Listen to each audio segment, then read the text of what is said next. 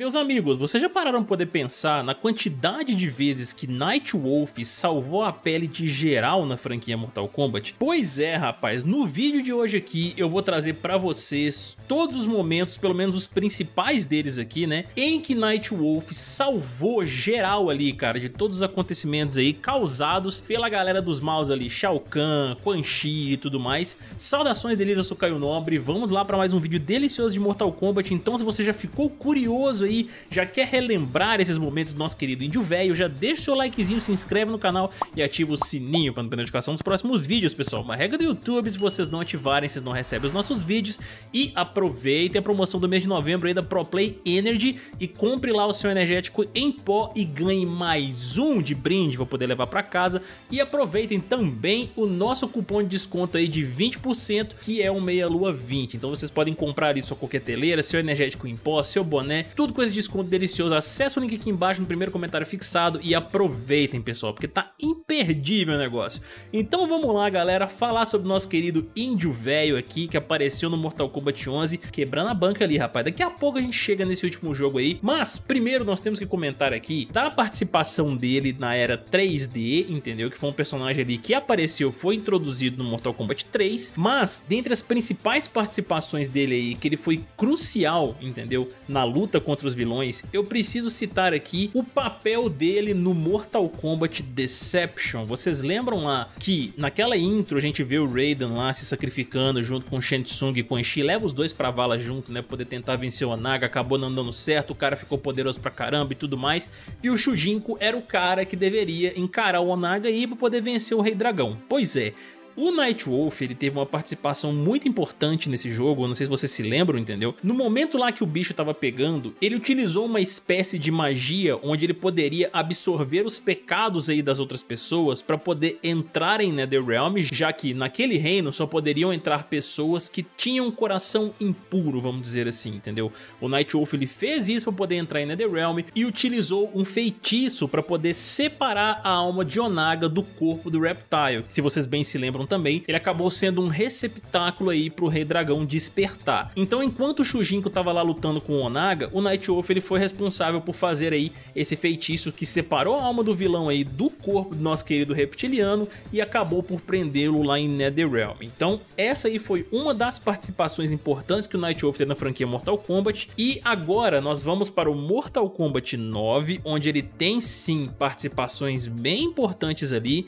A primeira delas que eu preciso citar aqui vocês lembram que o Quan Chi ele cria um turbilhão de almas ali pro Shao Kahn, de forma que essa magia negra pudesse consumir todas as almas presentes na Terra. E aí a gente no capítulo do Nightwolf, quando ele fica sabendo disso, ele vai até lá para impedir que esse turbilhão de almas se fortaleça e absorva a alma das outras pessoas, ele acaba enfrentando o Noob Saibot no processo, joga o nosso querido ninja sombrio aí nesse turbilhão e acaba por rompê-lo de vez. Então essa foi a primeira participação aí que eu considero importante no Mortal Kombat 9 também, que o Nightwolf ajudou pra caramba a galera ali, rapaz. Poderia ter sido uma outra pessoa ali e o Noob Saibot poderia ter vencido, mas não, foi o nosso querido índio velho. E tem mais uma aqui que eu tenho certeza que vocês sabem qual é, muito popular aí no Mortal Kombat 9, que é quando a Sindel começa a passar o sarrafo em Deus e todo mundo no Mortal Kombat 9. Vocês lembram lá que o Shao Kahn desintegra o nosso querido Xangão aí e passa ali os seus poderes para Sindel, fortalecendo a rainha deniana e tudo mais? Pois é,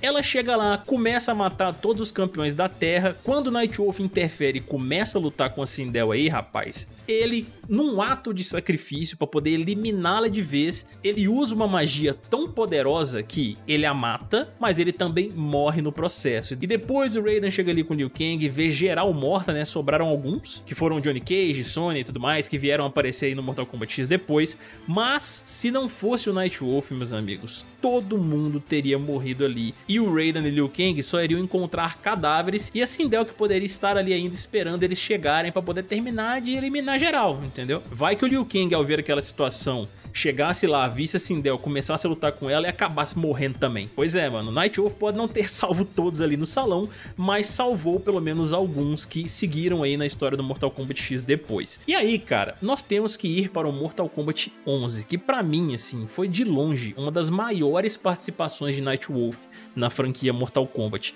Por mais que o Aftermath ele seja menor em termos de campanha se comparado ao Mortal Kombat 11, né, que é o jogo base, eu acho que eles deram um espaço muito bacana pro Nightwolf, mostrando pra gente a imponência do personagem, só nos diálogos dele ali, entendeu? Principalmente com o Shensung, que obviamente ele não confia e tudo mais, a gente já consegue sacar o quanto ele é poderoso. E o Shensung, ele toma cuidado também ao conversar com o Nightwolf, porque ele tá ligado nos poderes do nosso querido índio velho aí. E aí, cara, falando sobre as principais participações do Nightwolf nisso aí, e o quanto ele foi importante também, mano, além de diversas sequências de luta que eles colocam o Nightwolf ali, onde ele mostra suas verdadeiras habilidades, a gente tem um momento onde eles são presos pela galera ali de Netherrealm, Sindel e tudo mais, e o Nightwolf é responsável por se libertar ali, confrontar a Sindel e ainda libertar Shansung e Fujin, entendeu? Porque ele faz aquela faca espiritual lá, poder quebrar a corrente e tudo mais, e acaba se libertando. Uma sequência do personagem que eu não me esqueço também no Aftermath é quando ele luta contra o Geras. Tá certo ali que tem alguns guerreiros, né, junto com o Geras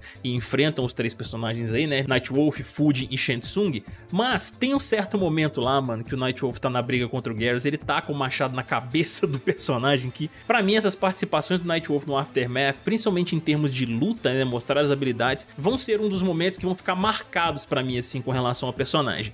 Mas, mas, nós não podemos esquecer também da participação aí da nossa querida Cetrion nessa história, entendeu? Porque vocês se lembram quando eles vão lá pra poder pegar a coroa de almas na ilha de Shensung e tudo mais. E aí a Cetrion chega, eles já tinham revivido a Sindel aí pra poder participar ali do plano, antes de saber tudo que tava rolando por trás, né, que o Shensung já estava tramando aí. Mas durante a luta contra a Cetrion, a gente vê que a Sindel não está levando a melhor. Até que o Nightwolf interfere nessa luta aí, rapaz. Além do bicho dar uma ombrada na parede de pedras aí da Cetrion, o cara quase se sacrifica de novo para poder matar a nossa querida deusa ancestral aí, rapaz. Se não fosse a Sindel utilizar o cabelo dela ali para poder puxar a Stetron e jogar ela no chão, o Nightwolf teria levado a bichinha junto, reprisando aí o que ele fez no Mortal Kombat 9. E se eu bem me lembro, a Sindel comenta dele estar utilizando ali naquela hora o mesmo poder que ele usou para poder matar a Rainha de Edene aí. E aí, é claro, a Cetrion estava mais fraca, a gente estava no capítulo da Sindel, a gente enfrentou a Cetrion e acabou vencendo aí a personagem que foi pro saco depois. Pro saco assim, né? Ela foi embora lá para junto da Crônica e a gente sabe o destino dela logo depois. Mas não tem como negar a importância do Nightwolf nessa batalha aí, porque se a Sindel tava tomando uns supapos ali pra Cetrion, quem dirá os outros personagens ali que fossem enfrentá-las, entendeu? O Fujin seria um personagem que poderia bater de igual para igual ali, já que ele também é um deus entendeu? Mas esse papel ficou pro nosso querido índio velho aí com seus poderes mirabolantes e eu achei isso da hora demais, o espaço que eles deram pro personagem aí. Então é isso, meus amigos. Essas foram as